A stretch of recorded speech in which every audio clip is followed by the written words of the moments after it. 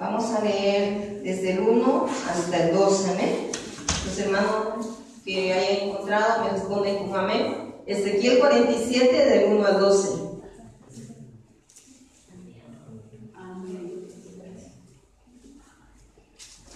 Amén. La palabra del Señor dice, me hizo volver luego a la entrada de la casa y he aquí aguas que salían de debajo del umbral de la casa hacia el oriente, porque la fachada de la casa estaba al oriente y las aguas descendían de debajo hacia el lado derecho de la casa, al sur del altar.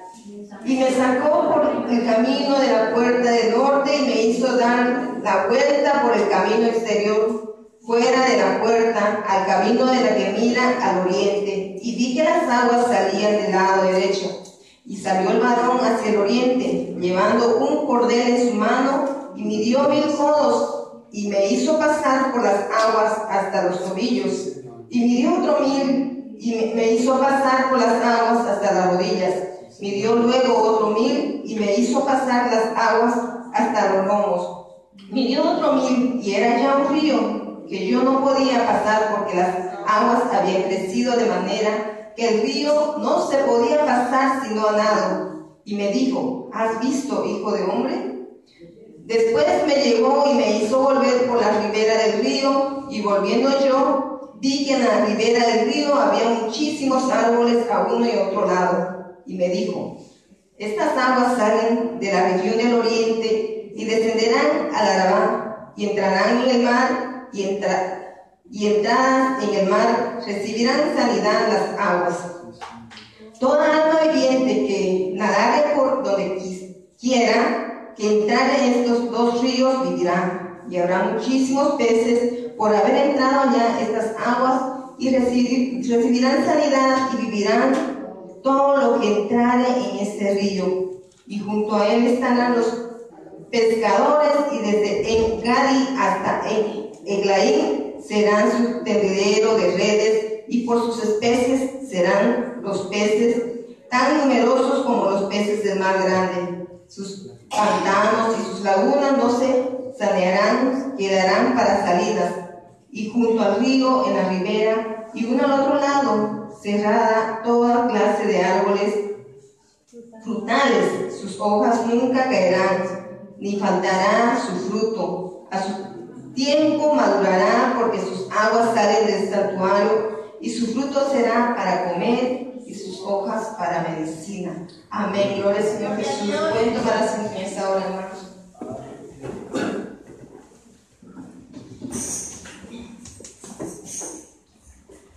Gloria al Señor Jesús. Estamos, hermanos, con un lema por el mes, conociendo la profundidad de Dios. Pero el tema de, de esta tarde es sumergiéndome en el río de Dios. Amén. Como hemos visto, hermanos, en el libro de Ezequiel, eh, vamos a, a, decir que la vida del cristiano tiene diferentes etapas por las que tiene que pasar. Y podamos, y pues que también no tiene que quedarse estancado, sino que tiene que avanzar. Vamos a hablar sobre la primera etapa donde habla en el capítulo, estamos en el 47, en el versículo 3, donde dice, y salió un varón hacia el oriente, llevando un cordel en su mano, y midió mil conos, y me hizo pasar por las aguas hasta los tobillos. Podemos decir, las aguas hasta los tobillos, hermano, es el inicio de la vida cristiana, el inicio de, de nuestra vida en conocimiento hacia nuestro Dios es el caminar, nuestro primer caminar con Dios. Después de pasar, yo sé que muchos de nosotros antes de conocer al Señor hemos caminado como por un desierto, eh, con, con una sed donde que por fin cuando nos predicaron la palabra del Señor, como si pusiésemos nuestros pies en esa agua fresca, En este momento, hermano, es cuando el Señor empieza a tratar con nuestras vidas. Amén.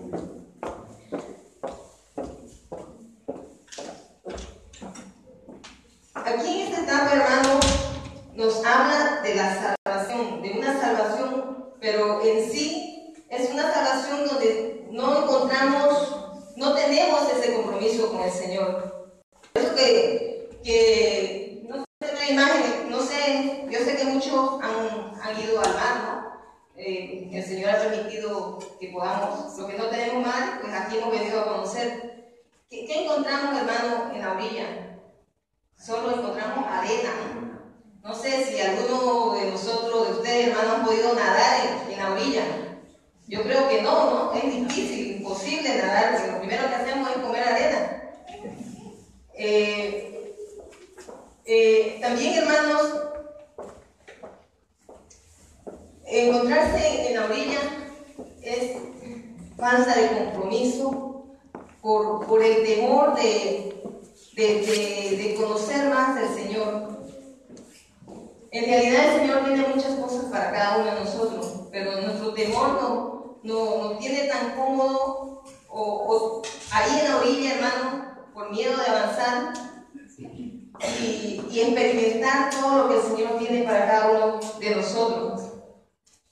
Yo me imaginaba, hermano, que estando en la orilla, yo creo que eh, podemos decir que es como estando más, como estamos pisando tierra, pues vemos más las cosas del mundo.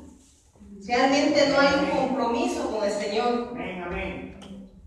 Yo lo comparaba de esa manera, hermano, porque en realidad nos, estando en la orilla, nos olvidamos de muchas cosas, principalmente de, de buscar del Señor, de orar, porque estamos nuestra mirada más en las cosas de afuera del mundo. Y yo sé que, que muchos de nosotros hemos aceptado al Señor como nuestro único Señor y Salvador, pero no, no todos tomamos en cuenta solo vemos la salvación, pero no lo queremos poner como nuestro Señor, sino que nosotros somos quien que gobernamos nuestra vida. Queremos hacer lo que nosotros queramos. Y aún por eso que nos permanecemos en esa orilla, porque no queremos sumergirnos, comprometernos con el Señor, conocer más de Él.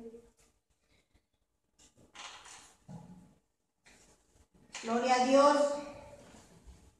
Eh, el Señor, hermano, tiene cosas grandes para nosotros. Amén, Señor. Y Él, Él quiere ser quien gobierne nuestra vida. Ya no que seamos nosotros.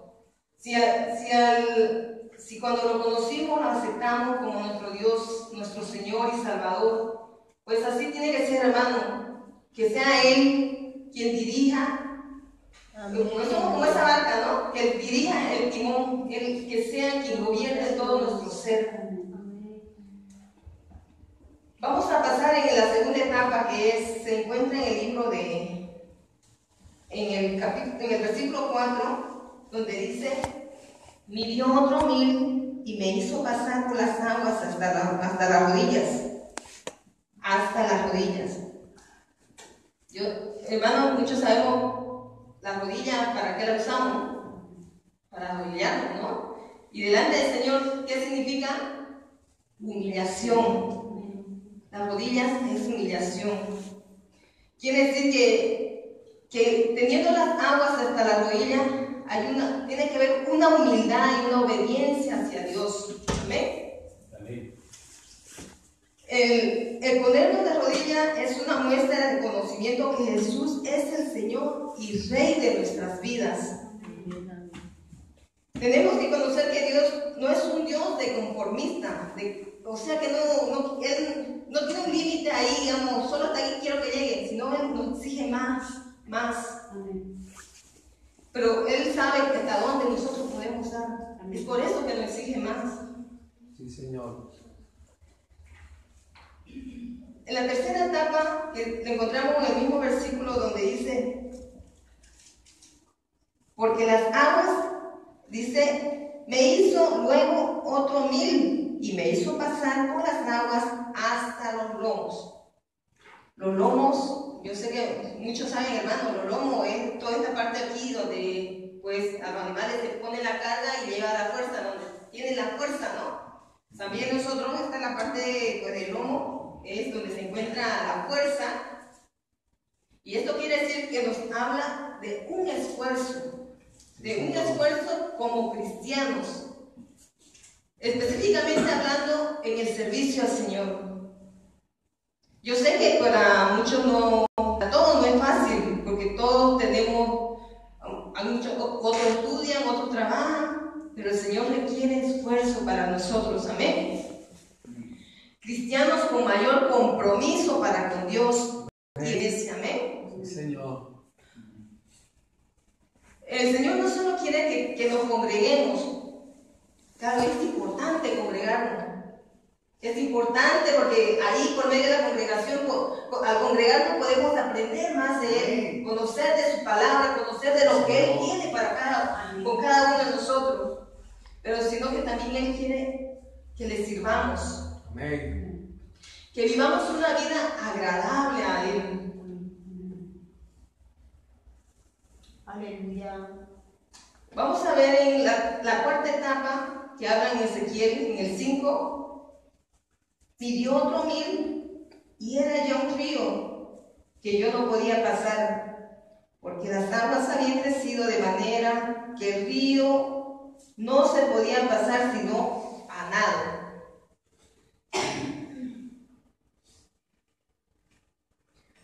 Nos habla en este versículo de una vida donde sea el Señor quien gobierne completamente en nuestro ser, en nuestro interior, que nos neguemos nosotros, ya no, no sea esta carne quien nos domine, sino que sea el Espíritu de Dios quien nos guíe, que sea Dios, Él quien gobierne todo nuestro ser y dejarnos llevar por su Santo Espíritu para que Él haga lo que Él quiera hacer con nosotros. Amén.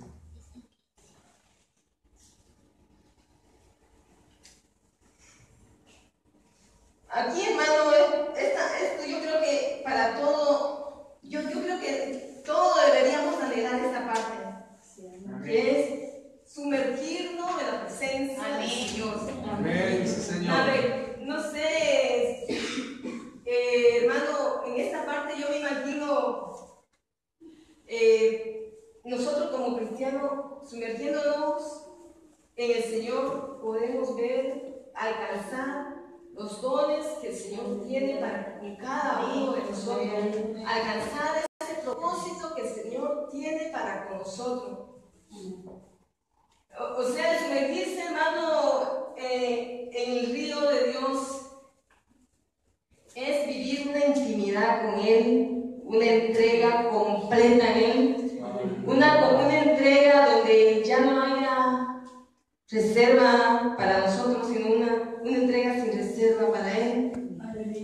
Y es ahí donde vamos a ver los dones y podemos dar, podamos, vamos a poder dar esos frutos, como dice aquí en la palabra, dice que eran frutos que, que, que se podía comer, sus hojas eran medicina. Así no, si nos sumergimos nosotros en la presencia del Señor, vamos a ser medicina para muchas almas, muchos que necesitan del Señor. Hermanos, la palabra del Señor en esta hora nos dice que, que dejemos esa orilla, que dejemos esa comodidad, que nos sum- sumerjamos en la presencia de Él, que vivamos solo para Él. Yo quisiera que abramos en esta hora también el libro de Lucas, Gloria a Dios. Lucas 5.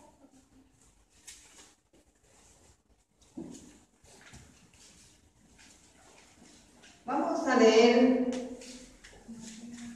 del 1 al 7, amén. Dice, aconteció que estando Jesús junto al lago de Gen- Genezaret, el gentío se agolpaba sobre él para oír la palabra de Dios y vio a dos barcas que estaban cerca de la orilla del lago. Y los pescadores, habiendo descendido de ella, lavaban sus redes y entrando en una de aquellas barcas, la cual era de Simón, le rogó que la apartase de tierra un poco y sentándose enseñaba desde la barca a la multitud. Cuando terminó de hablar, dijo a Simón, boga mar adentro, echad vuestra red para pescar. Respondiendo Simón le dijo, maestro, toda la noche hemos estado trabajando y nada hemos pescado, mas en tu palabra echaré la red. Sí. Y habiendo hecho, en- eh, y, y habiéndolo hecho, encerraron gran cantidad de peces y su red se rompía. Entonces hicieron señales a los compañeros que estaban en la otra barca para que viniesen y, ayudar, y ayudarles. Y vinieron y llevaron ambas, ba- llen- llenaron ambas barcas de tal manera que se hundían. Hermano, nuestra vida es comparada con un barco, eh, donde quien lleva la dirección de nuestras vidas es Dios. Aquí en esta parte de- le dice Jesús a, a Simón, a Pedro, ponga mar adentro. Él sabía lo que iban a encontrar más, más adentro. Sabía el Señor lo que, lo Pero Pedro decía, pero Señor, digamos, yo creo en su mente, ¿no? Señor, si he trabajado, hemos trabajado toda la noche y la tenemos las redes todas limpias y, y, y yo creo que él decía, en vano vamos a lanzar si, si ya lo hemos intentado y toda la noche no hemos sacado nada. Pero el Señor le dijo, boga mar, mar adentro. Y ahí encontraron muchos peces. El Señor, hermano, en esta hora nos dice, sumérgete, métete más, no te conformes con el agua hasta la rodilla o el agua hasta, la- hasta los tobillos. El Señor nos, nos pide más en esta hora, hermano. Como yo le decía, hermano, con, con el agua, pues hasta los tobillos hay, hay un conformismo, yo creo, ¿no? De, de no mirar más allá de lo que el Señor tiene para con nosotros y donde se nos olvidan muchas cosas, porque estamos más distraídos en las cosas de afuera que en las cosas del Señor. Nos olvidamos de orar, de ayudar, de leer la palabra, que son todo eso lo que nos edifica espiritualmente y nos ayuda a crecer en el conocimiento al Señor. Amén. Gloria a Dios. Ahí en 1 de Corintios dice, ¿qué pasa si nos sumergimos en la presencia del Señor? Yo quisiera que leamos en 2 de Corintios 2.9. En 1 de Corintios 2.9.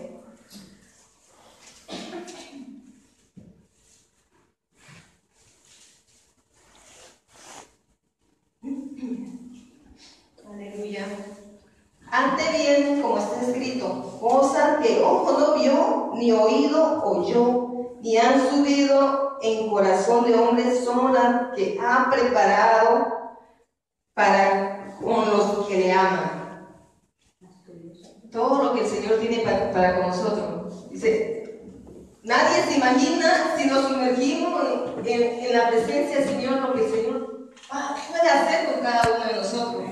Ni ojo vio, ni oído yo, dice. Son los que el Señor tiene preparado para, con, con cada uno de nosotros. Yo quisiera, hermano, después de esta palabra, que, que no sé, que meditemos en nuestra vida espiritual.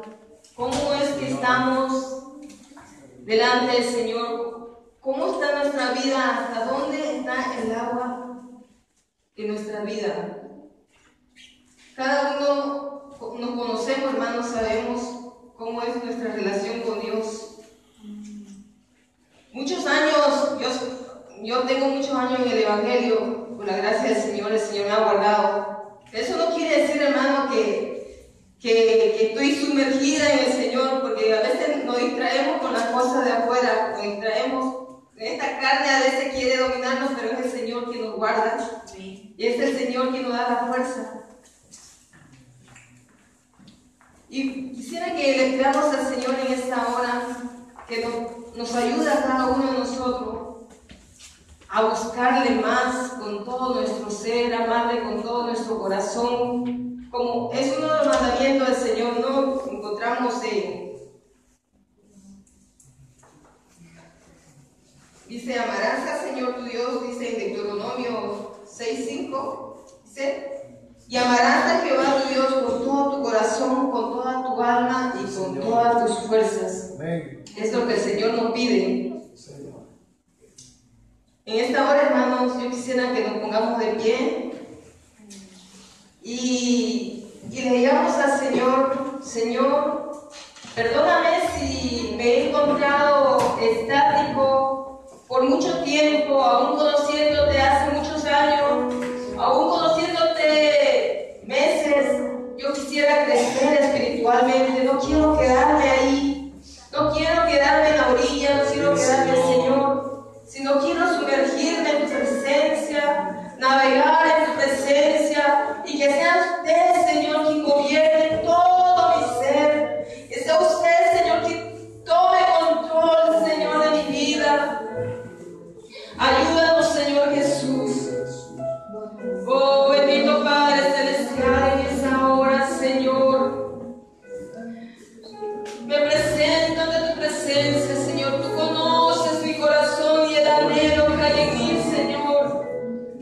Yes.